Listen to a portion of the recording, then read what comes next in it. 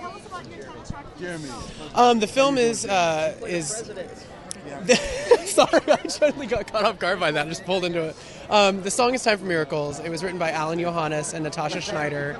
Um, unfortunately, the tragedy here is that Natasha actually passed away after writing this song. Um, but I think that both in their in their writing collaboration and for the theme of this film, I think what it really covers is that the spirit of love can pull you through tragedy and disaster. And um, I think they're a living example of that. He has found this success now because he celebrated the love that he had with his wife. So I think it's really exciting for him.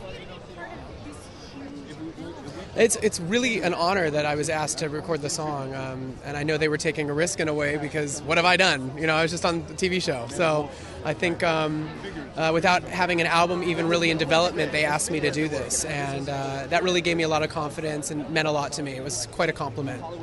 Yeah. You're enjoying single life now. Yeah. Are you dating? Are you? Um, Uh, no, I'm really working a lot right now, so you know. do you still keep in touch with Yeah, yeah, we're good friends. Yeah. Do you bring a date this evening? No, flying solo. My date's my jacket, actually. Rock & Republic. Yeah, yeah. Um, all the opportunities that have come my way, and, and I'm also really thankful for um, how my true friends and family have really been there for me. And as much love and support they're giving me, I want to give back to them somehow.